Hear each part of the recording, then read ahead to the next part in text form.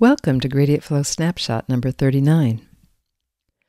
Author Mark Douthwaite analyzed 30,000 data science stories published on Medium between January 2019 and December 2020.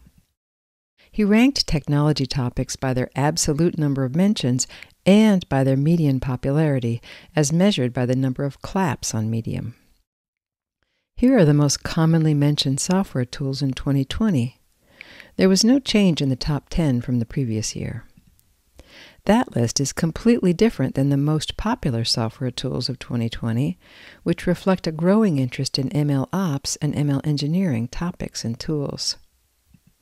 In the 2020 list of top five languages by number of mentions, Python heads the list and Java is in the number two spot.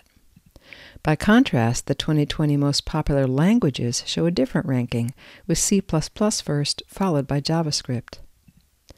A graph showing cloud platform mentions shows AWS at the top, but the graph showing cloud platform claps tells a different story. See Gradient Flow newsletter number 27 for more.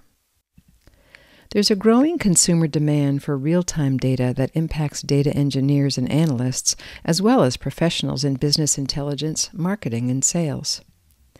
The online Datanova conference on February 9 to 10 will explore solutions and architectures that companies are using to optimize their data platforms. The event will cover topics like data mesh architecture, cloud migration, Trino, data lakes, and more. See Gradient Flow newsletter number 27 for more.